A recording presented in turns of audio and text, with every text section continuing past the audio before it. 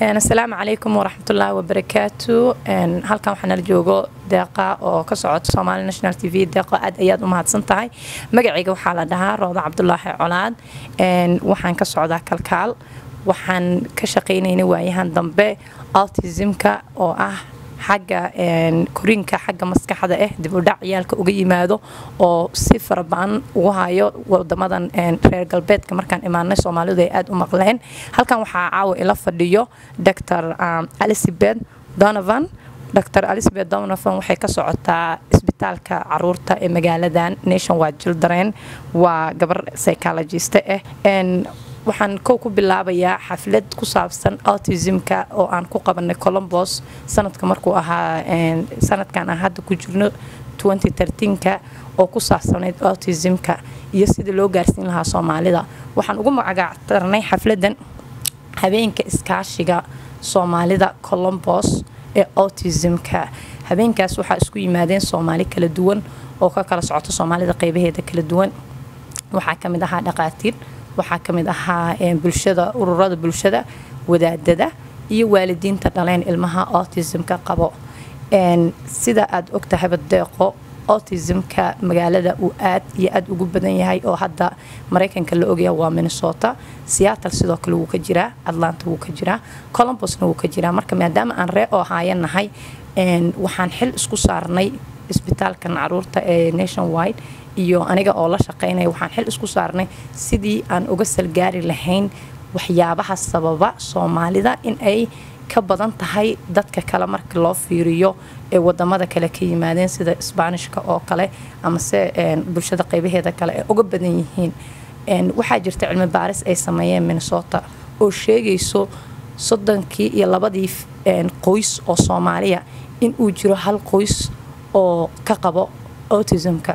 Marka arinkaas darteed waxay nagu dhiirigelisay in aan wax ka qabanno markii aan qabanay xafladii ku saabsaneed iskaashiga waxaa ka soo baxay waalidiin badan inayna soo waceen yiraahdeen kalsooni baadna siiseen in ilmaheena ay muxuu ahaay autismka qabaan. Awal waan qarin jirnay laakiin hadda waan yacni soo baxaynaa waxaana la raadinaynaa in ay caafimaad helaan.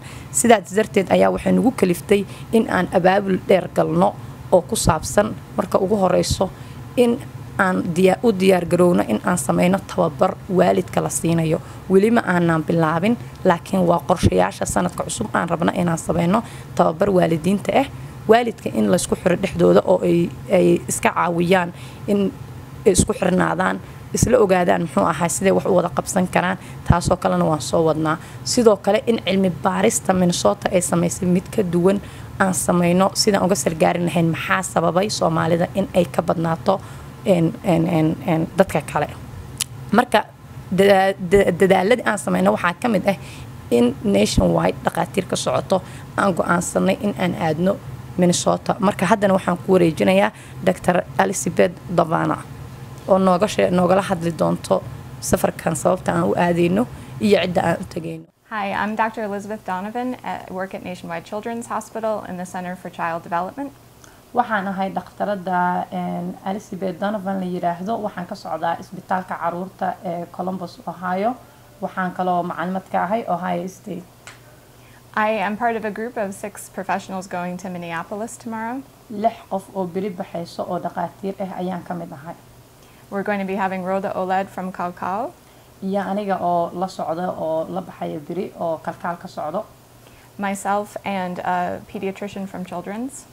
dhakhtarka carruurta oo ka socdo isagana isbitaalka carruurta ayaa ka mid ah. A representative from the Ohio Department of Health, waaxda caafimaadka ee magaalada colombos dhakhtar kale oo ka socdo.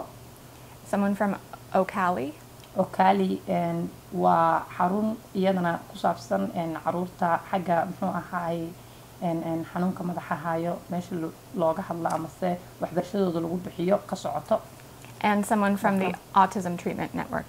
Iyo qof kale oo ka socdo wax kale oo la yiraahdo autismka iyo daaweyntiisa. The six of us are going to be meeting with um, the researchers from the University of Minnesota. lixdeena waxaan la kulmi doonaa dadkii cilmi baarista sameeyey ee minnesota joogay. These are the researchers who are behind the Minneapolis Somali Autism Spectrum Disorder Prevalence Project. dadkan waa dadkii cilmi baarista sameeyey autismka oo minneapolis jooga dadka aan la kulmayna beri They're going to be our hosts, and they've also introduced. Uh, they've also invited a lot of people from the community, the Somali community in Minneapolis, to meet with us. iyaga ayaana martigeliyey waxa sidoo kale waxay casuumeen soomaalida dadka la yaqaano oo soo soomaalida oo minnesota degan ayay casuumeen And we're very excited. We're going to be exchanging ideas with them, hearing about what they've done in terms of services, research, and uh, how they are connecting with the Somali community aad there. ayaan ugu faraxsannahay inaan la kulmayno waxaana wadaagi doonaa ra'yi wadaag baa naga dhici doono oo ay ka mid tahay waxyaabaha ay kala kulmeen soomaalida minnesota joogto iyo sida ay dadaalka ugu jiraan autismka So we'll be talking to them about what's been helpful for the families in Minneapolis who have children with an autism spectrum disorder. waxaan kala hadli doonaa maxaa caawiyey amase caawin intee la-eg ayay ka geysteen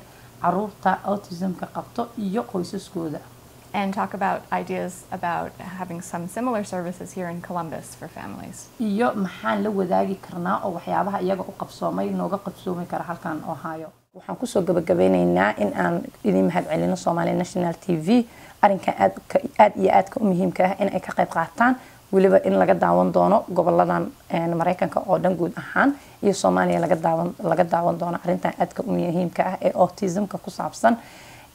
Waxaan jeclaan lahayn oon caawa halkan uga soo gudbinaynaa waalidiinta meel kasta ay joogaan in ay iska kaashadaan gacanta iska qabsadaan cunuga aysan qarinin sababtoo ah cunuga marka uu yaryahay haddii lagu bilaabo in lala raadiyo in la caawiyo oo la geeyo meeshii lagu ogaanayo cunuga koriinkiisa aad bay uga caawinaysaa cunuga. Wuu ka sii fiicnaanaya waxyaabaha uu baranaya amase firfircoonida uu ka helayo ayaa ka fiicnaanaysa cunuga. Markaad ku geysa shan sano waxaa soomaalideen san u badannaha cunuga ilaa uu shan sano ka gaaro waxaa waaye uma, malayna inuu cunugii cunug wax fahmaya amase dhaqankiisii iyo waxaas inay muhiim yihiin. Laakiinse ilmaha sideed iyo toban bilood laga bilaabo ayaa lagu ogaan karaa autismka. Marka waxaan ku dhiirigelinayaa soomaalida meel kasta ay joogto cunuga sideed iyo toban sano ilaa iyo saddex sano afar sano uu ka gaarayo in ay u fiirsadaan koriinkiisa xagga hadalka ah koriinkiisa een, xagga bulshada dhaqanka ah koriinkiisa xagga qoraalka ah in cunugii marka uu la hadlayo uu waalidka fiirin karo amase uu dhug u yeelan karo arrimahaasoo dhan waa arrimo waalidka ay guriga ku ogaan karaan inta aysan dhakhtarka keenin.